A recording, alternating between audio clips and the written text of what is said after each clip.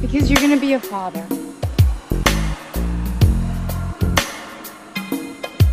I'm pregnant? No.